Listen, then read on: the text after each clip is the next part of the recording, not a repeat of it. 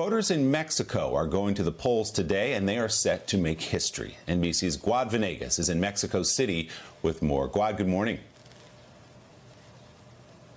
Willie, good morning. It's going to be a new chapter for Mexico's 200 year history with the voters likely to elect the first female president. Claudia Sheinbaum has been leading the polls. Far behind is Xochitl Galvez, who's looking to pull an upset. But Sheinbaum has a very interesting background. She lived in the U.S. for some time. She speaks fluent English, studied at Berkeley and Stanford. She's an academic and a close ally to current President Lopez Obrador. But this election is going to be stained by death and violence with dozens of candidates and aspiring candidates assassinated during the election cycle. The last one just last Friday. Now, experts say that organized crime, criminal enterprises are connected to a lot of the killings, with much of the violence focused on people seeking local office. Experts say this is because the criminals want to control local resources. That, along with the issues of public safety, will have to be dealt with by the next president. And then there's the issue of immigration. This directly affects the United States.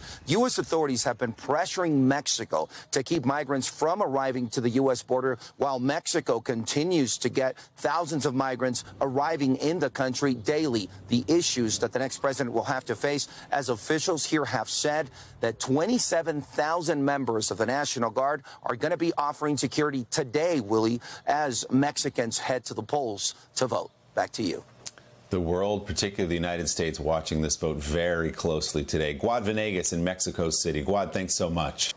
Hey, thanks for watching. Don't miss the Today Show every weekday at 11 a.m. Eastern, 8 Pacific on our streaming channel, Today All Day.